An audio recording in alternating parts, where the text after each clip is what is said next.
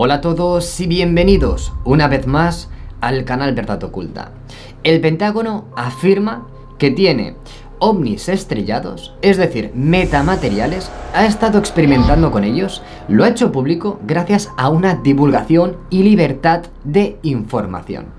Bien, esto lo vamos a escuchar por muchos medios y posiblemente encontremos información, pero yo os traigo toda la información, todas las fuentes, todos los documentos que lo avalan y la realidad de la situación, ¿no? ¿Cómo empieza todo esto? Sabéis que hace muy poquito el expresidente Donald Trump dijo que se debería de informar de toda la información con referencia al fenómeno OVNI al público. Y creo que nadie de nosotros va a pensar o creer que habrá una rueda de prensa y nos dirán de pie a pa, desde inicio hasta la actualidad, todo lo que ocurre. Esto no va así. ¿Cómo funciona esto? Hay gente, hay investigadores que se dedican a hacer solicitudes y la FOIA va divulgando la información. Y es justamente este caso. Estamos en la página web de un investigador. La página web, todos los enlaces os lo dejaré en las descripciones.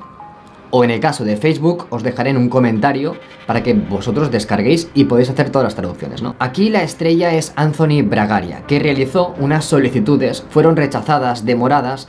Hablamos de cosas del año 2017 y la gente estará pensando, ¿y por qué ahora, no? Bien, porque están obligados a hacerlo, sí, pero porque también han habido amenazas a la hora de decir o me das la información o entramos a temas judiciales. Y efectivamente se han decidido a dar toda la información, o al menos parte de ella. Hablamos de 150 páginas que avalan esta realidad. ¿Os suena el caso Roswell? Hay mucha ocultación, ¿cierto? ¿Fue verdad? ¿No fue verdad? Bajo estas sospechas y esta información, uno, sabemos que tienen ovnis estrellados. Dos, hay empresas subcontratas que se llaman, que están realizando estudios y entre ellos está el famoso Robert Bigelow de Bigelow Aerospace, que efectivamente está metido en el ajo las cosas como son. Es una persona que nos ha dado muchas pinceladas de esta realidad diciendo que efectivamente él cree, no me extraña, tienes en tu almacén material, metamateriales, que hablaremos de ello. Y además ahora estás ofreciendo un millón de dólares a quien te demuestre que hay vida después de la vida, ¿no? O vida después de la muerte, aunque no quiero decir esa palabra. Y así está el tema, ¿no? Bien, aquí tenemos toda la información. Nos explica la historia, ¿no? ¿Qué sucedió? ¿Cuánto tardó? Etcétera. Pero yo os quiero mostrar una investigación que yo he hecho aparte aquí la tenemos. Estamos en un documento a través de Google, realicéis las búsquedas y tenéis los documentos, los archivos, y vemos que es el log de la FOIA. Y aquí están todas las libertades o todas las solicitudes, mejor dicho, ¿no? Si nos vamos a la palabra técnica, que es Anthony Bragalia, observamos que el documento es el FOIA 0089-2018. Y dice así, solicitud de toda la información de los AATIP, que sería este programa de estudio de amenazas aeroespaciales, básicamente naves extraterrestres. Existe. Una cosa es encontrar este registro y otra cosa muy diferente tener los documentos. Veremos en diferentes medios una foto de baja calidad y es lo que me ha hecho dudar hasta llegar a la fuente. Una vez que estamos en la página web del susodicho investigador que ha conseguido todo esto y se merece un aplauso, y yo creo que se lo merece, tenemos todos los enlaces, ¿vale? Lo que sucede es que aquí se están mezclando varios conceptos. Em, se afirma que se ha estudiado y se está estudiando este material. Y observamos realmente que nos mezclan un poco la historia de Roswell, año 1947. Se encontró un material, estáis viendo una fotografía de baja calidad, que se podría doblar, ¿no? Y volvía otra vez a su forma. Este material es algún tipo de material, metamaterial exactamente, que estaría en uno de estos ovnis. Y las prácticas, es decir, el modo de utilizar todo esto, abriría un gran abanico. No algo únicamente que se puede, pues, moldear y volvería otra vez a su forma, sino realmente el comportamiento, por ejemplo, de la luz que tiene este material, ¿no? Bien, dicho esto, vamos a ir directamente a la solicitud del documento, aquí lo estamos viendo, recibido año 2017, el 27 de diciembre. Y aquí tenemos toda la información, es decir, lo que yo estoy pidiendo en este caso, este investigador, Anthony Bragalia, ¿no? Y esta es la contestación, señores. Este es el documento de calidad que os voy a ampliar para que veáis. Son 148 páginas de documento en inglés, os dejaré los enlaces para que vosotros hagáis vuestras investigaciones.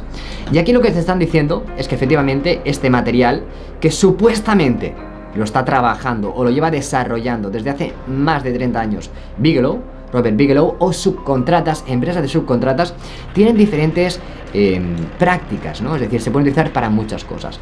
Ahora os mostraré esto, pero quiero que veáis un pequeño análisis de la documentación, de básicamente las propiedades, las prácticas, etcétera, ¿no? ¿Esto es un gran avance? Sí, creo que es un gran avance y creo que falta poco para que nos digan la verdad, pero siempre y cuando apretemos y estemos, pues, eh, a favor de ello, ¿no? Porque por su parte no lo van a decir. Bien, aquí están los 150 folios de documentos. Vosotros podéis chafardear, pero vayamos otra vez a la página donde nos está mezclando un poco la historia de este material.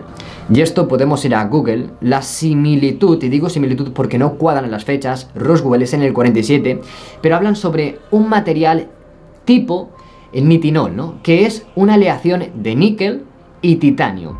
Y es un ejemplo muy conocido porque se puede doblar y volver otra vez, ¿no?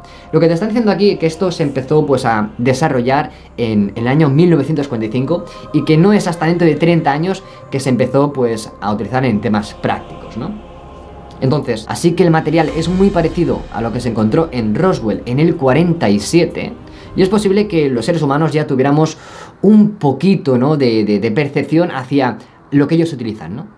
Aunque podría ser perfectamente una tapadera y realmente esta aleación y en sí todo esto fue a raíz de lo que se descubrió, este material del ovni estrellado, ¿no? que tendremos muchos más, seguro. Simplemente esto pensad que es una pincelada de la información. Si volvemos a la página web del investigador, que es el punto más interesante, o te lees todos los documentos, te está diciendo que estos materiales van a tener un uso práctico en base a en sí su composición y su comportamiento. Por ejemplo, se utiliza para ralentizar la luz o incluso hacer que la luz se detenga por completo, lo que implica la capacidad de manipular la velocidad de la luz, energía electromagnética que viaja a 186.000 millas por segundo. Imaginaros que a la práctica este material se puede utilizar para pues hacer o influenciar la velocidad de la luz, ¿no? Imaginaros, ¿no? Hacia dónde podría llevarnos en un futuro esta tecnología o este material encontrado. Puede inducir la invisibilidad manipulando la refracción, la reflectividad y aumentando la absorción de la luz. Hablamos de invisibilidad, aislamiento óptico y transparencia.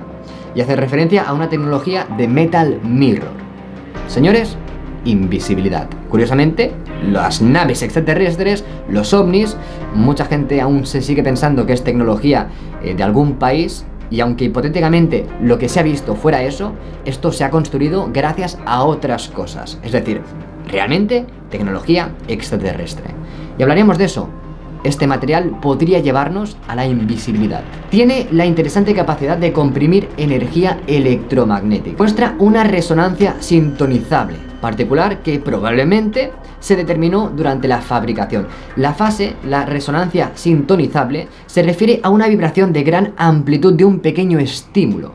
Una investigación muy reciente muestra potencial en el campo de las tecnologías de la recolección de energía o extracción de energía del medio ambiente para dispositivos electrónicos de baja potencia. Los documentos avalan esta realidad, es decir, tenemos tecnología, metamateriales, una cosa que yo creo que se ha especulado muchísimo, la FO ya ha liberado esta información y creo que esto es un gran paso. Espero que os haya gustado este reporte y nos vemos en el siguiente vídeo programa. Me despido.